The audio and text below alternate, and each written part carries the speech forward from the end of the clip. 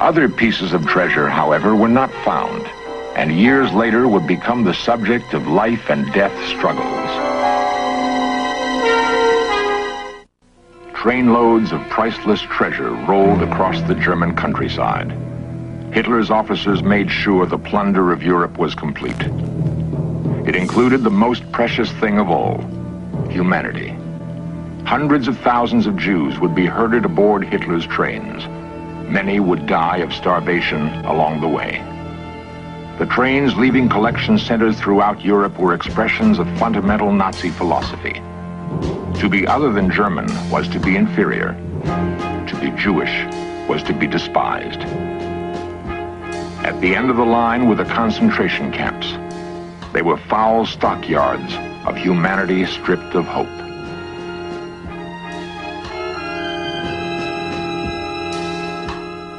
With the Jews, Hitler found the scapegoat he needed to explain Germany's failures between the wars. The Nazis were stealing lives now, and they weren't above making a profit at it. Grisly crimes were committed by the Nazis in their dozen-year reign of terror in Europe. Worst of these were the assaults on human dignity, typified by the robbing of gold from the mouths of murdered Jews. Another atrocity was the collection of huge sums in gold and diamonds from concentration camp inmates who thought they could buy back their lives. They couldn't, but they made their killers rich trying. The horror of it struck home when the Allies took over the camps. They entered as liberators, but there were no cheering crowds. They beheld instead a tragic spectacle. Treasure could be recovered, but lives could not. The task would be enormous. Perhaps it would never be completed. The great bulk of Nazi plunder would be recovered immediately after the war. Uncounted millions, however, disappeared with Hitler's henchmen. Men who, like Martin Bormann, are still at large.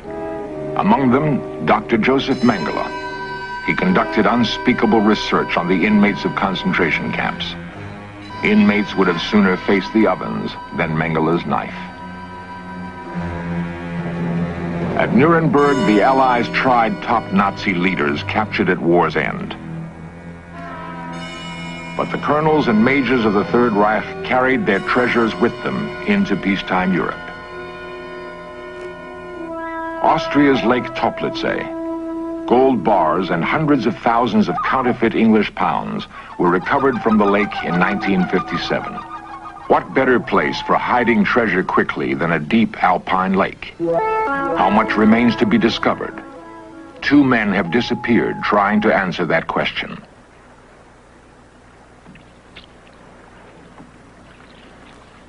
The search goes on, in spite of the lake's ominous history. The Austrian government tries to discourage treasure hunters, but the lure of Nazi gold is powerful. Two volunteer firemen from a nearby city have dreamed of the riches that may lie beneath the lake. The dream brings them to Toplitzsee again and again. Perhaps this will be the day. The quest is exhilarating, but not without danger. Vigilance is important.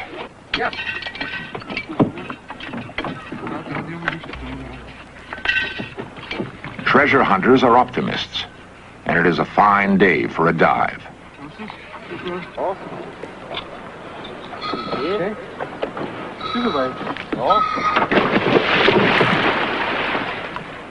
Optimists, yes. But the treasure hunters know other hunters may be abroad. The men who hid the gold were not strangers to killing. Who knows where they are now? The water is deep and cold. It is easy to see how it has kept its secret for more than 30 years. Ja, wordt doorgemaakt voor sloten. Dan verzoek was nog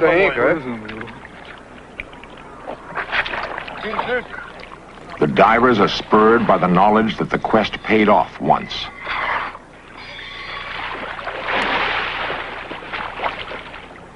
There was another time when blood may have been spilled to keep the secret of the lake. The secret was born in 1945. The Nazi hierarchy, not killed outright, was in flight. If they were caught, They might lie their way out of long prison sentences, but not if they were caught with treasure.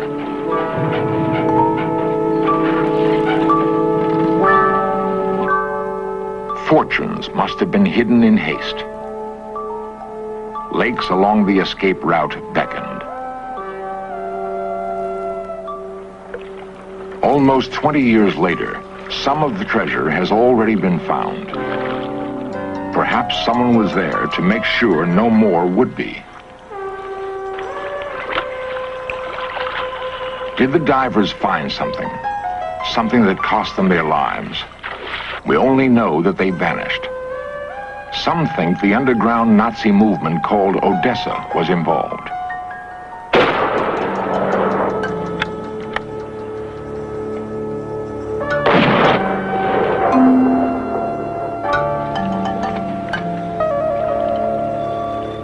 Is 1976.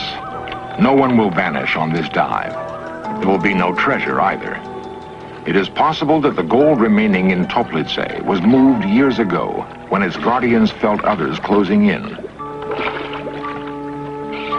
There are many other lakes and many secret bank accounts. Serious investigators don't dismiss the notion that there are still men in hiding who would see Hitler's nightmare world reborn. Great treasure would have to be close at hand to once again unleash the dogs of war.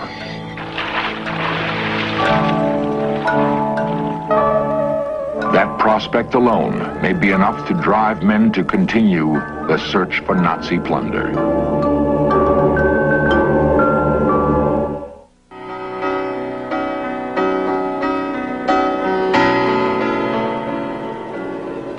Florence, the capital of Renaissance culture, is the center for the continuing search for the plundered art treasures of Europe.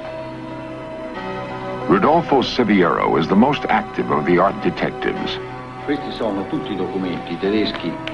He stayed on the trail of Nazi art thieves long after others had given up. nazisti per portare via le opere d'arte. Siviero has searched thousands of German documents for clues. With them, he has recovered dozens of stolen masterpieces, manifests, bills of lading, army memos, reminders of past outrages. deve essere del 44. The collections of the Uffizi Gallery and the Pitti Palace in Florence have been reconstructed through the work of Siviero and his colleagues. Yet Siviero estimates that a third of Italy's plundered art is still missing. He thinks much of it is hidden behind the Iron Curtain in East Germany. One of his hardest tasks has been to root out the fake masterpieces that began showing up after the war. Museums, anxious to restore their collections, often fell victim to swindles. The flood of copies has made it even harder to trace the fate of the originals.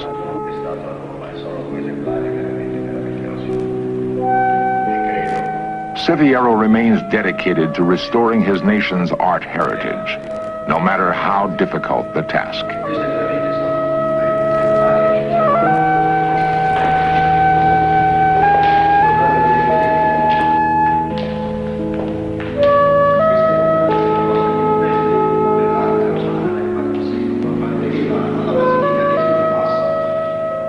Important for men like Siviero to believe that beauty can endure.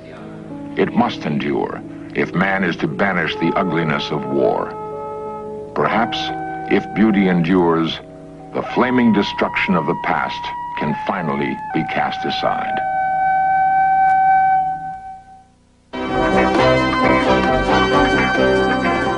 Lost civilizations, extraterrestrials, myths and monsters, missing persons, magic and witchcraft, unexplained phenomena. In search of cameras are traveling the world seeking out these great mysteries. This program was the result of the work of scientists